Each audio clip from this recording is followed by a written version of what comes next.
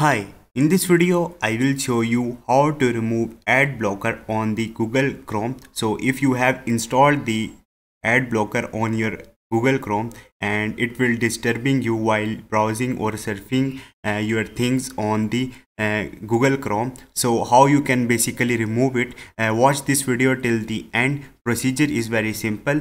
So first of all you have to open your chrome on your uh, desktop and once you will do it now you will see uh, main page is here. Simply you have to click on this icon here extensions uh, tap on it. If you have added the extension of the ad blocker on your uh, google chrome you can simply remove it from here by tapping on uh, these three uh, dot icon. So right now i don't have any ad blocker uh, due to security uh, risk. So I just give you an example. You, uh, can follow the same procedure for the ad blocker. And once you will tap on the three dot icon you can you will see uh, remove from chrome is appeared here.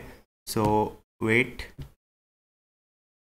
I tap on it and click on the remove from the chrome. And you will see uh, remove option is here.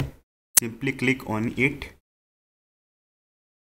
once you will click on it and it will uh, it ask for instant survey why you want to uh, remove this extension from your chrome. Select any option according to your choice.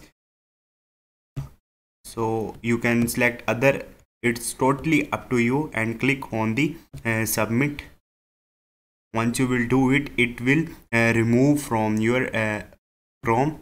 So you will see it's not here so this is the procedure. Hope this video will helpful for you. See you next time. Thank you